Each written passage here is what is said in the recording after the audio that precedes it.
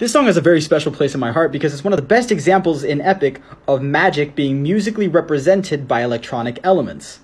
And I think it's especially cool in this song because we get to hear Odysseus with some magic. In the song Wouldn't You Like, Hermes presents Odysseus with a flower that allows him to mimic Circe's power.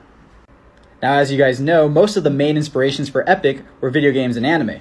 And Done For pulls inspiration from Pokemon and Yu-Gi-Oh! Because I kid you not, and this is in the script, Circe summons a giant chimera to fight Odysseus.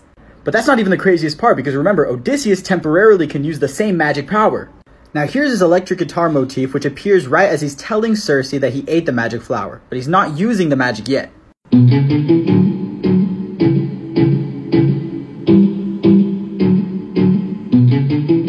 Right now is just a normal electric guitar.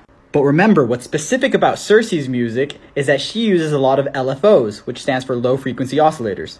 Which sounds like her music is going in and out like wah wah wah like this.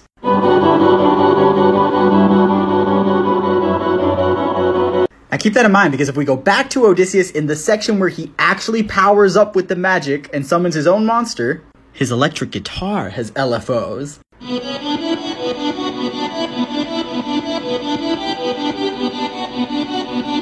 And so when he summons his own monster to fight Circe's Chimera, which by the way, he summons a Cyclops, which I think is really funny, it sounds like this.